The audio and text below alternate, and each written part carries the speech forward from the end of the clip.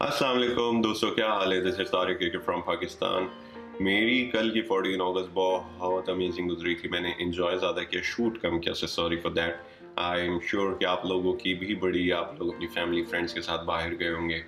और मुझे fire workers मुझसे मिस हो गया, लेकिन स्टिल मैंने काफ़ी इन्जॉय किया। मैं मैं चार मीनार की तरफ़ था और वहाँ पे मैं एक आध बार लाइव भी आया था, लेकिन मैंने वहाँ शूट नहीं ज़्यादा कर पाया। जब भी मैंने कैमरा बाहर निकलता तो फायर वर्क बंद हो जाते थे। और मैं पहुँचा भी थोड़ा सा लेट था I was there like around twelve fifteen so video में इतनी सारी चीज़ें नहीं मिलेंगी मे बी जो बेस्ट पार्ट मुझे लगा, उसमें कि कोई भी उतर के किसी को डांट नहीं रहा, सब इन्जॉय कर रहे हैं। इवन यू नो गाड़ी में जाकर वो बाजे उसके बाज़ार मुँह पे उसके बाद भी वो हा हा ही थम्स अप विक्ट्री सो कुछ जगहों पे कुछ मंजर देखकर कुछ नज़ारे देखकर आँखें नम सी हो गई थी।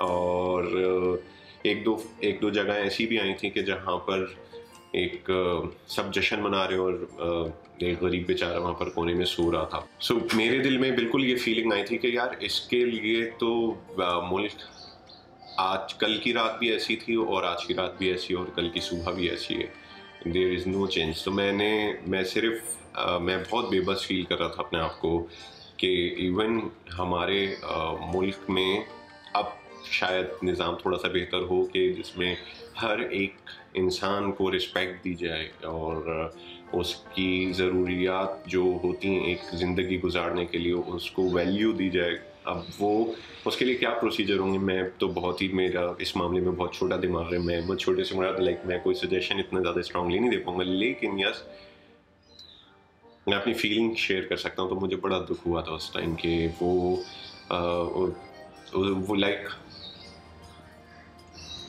मुझे मैं मैं बस सिर्फ़ ये चाह रहा होता हूँ कि हमारे इस मुल्क में अगर कोई जिसके पास बहुत पैसे हैं वो यू you नो know, वो इस कोशिश में लग जाए कि मैं और पैसे किस तरह से कमाऊँ उसको चाहिए कि वो इस तरह की लोगों की हेल्प करे अगर उनके बच्चे हैं तो उनको स्कूल्स में एडमिशन दिलवाएँ। ये एक आज़ादी का जज्बा होना चाहिए आई थिंक ये मैंने एक ब्लॉग पोस्ट किया था और उसके ऊपर जो कुछ कमेंट्स आए थे तो वो मैं यू you नो know, मुझे बड़ा अच्छा लगा था। तो मैं चाह रहा था कि मैं रिप्लाई में बता दूँ बट मैंने सोचा मैं पढ़ के बता दूँ। Again first viewer so this is for you Uh, well, video is wow, Karachi to Dubai, what a journey. You are the best photographer, and now best. Nah, मैं best vlogger vlogger नहीं हूँ अभी right now. Uh, I'm just trying, learning, and enjoying the journey. So अभी मुझे ये खिताब नहीं देना बिल्कुल भी. I must say keep rocking AK. Yeah, I'll do that inshallah. और बैकग्राउंड वॉइस ओवर वैसे इतनी अच्छी नहीं थी, लेकिन मैं आपकी बात को रख लेता हूँ। हामिद अंजुम ने अर्ज़ किया अमेजिंग और रमशा ने किया amazing you are great artist and with photography you have got another gift by Allah, which is your voice. Oh. Thank you very much. आप लोगों का बेसिकली जब इस तरह से कमेंट्स आते हैं तो एक मोटिवेशन हो जाती है।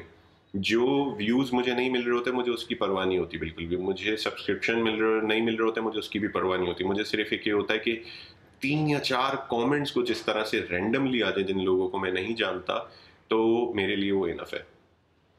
और जो भी मैं वीडियो बना रहा हूँ और एडिट कर रहा हूँ, वो यूगन से मैं एक अपने लिए कर रहा हूँ। मुझे फोटोग्राफी का तो शौक था ही, लेकिन जब मैं वीडियो वर्ल्ड में आया हूँ तो उसकी तो दुनिया ही अलग है भाई। दुनिया ही अलग है। There are a lot of things to do और I am so excited because अभी तो मेरी बस जर्नी शुरू हुई है यू नो तो अभी चलते हैं, छोटी सी वीडियो एंजॉय करते हैं। मुझे कमेंट्स कर दोगे तो ज़्यादा अच्छा है, ना करोगे तो भी चलेगा। अपना ख्याल रखना। आपका तारिक के अल्लाह हाफिज़।